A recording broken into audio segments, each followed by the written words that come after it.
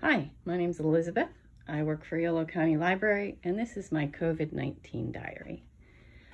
I just arrived here at our admin building to open up and it is uh, my job to start answering our phone line, which we've kept open, one phone line to help people with online services and keep the website updated, um, technology issues and things like that. I just wanted to show you what the library looks like during this COVID-19 shelter in place. And uh, yeah, it's pretty empty.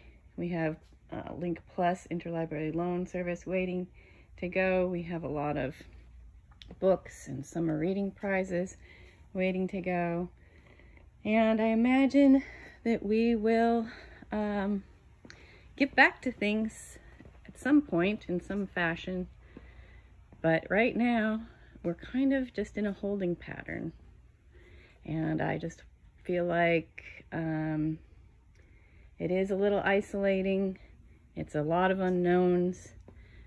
But I feel like we can get through this and um, we're going to get all these books going again and people are certainly enjoying reading and I can see that we're going to make it through this together.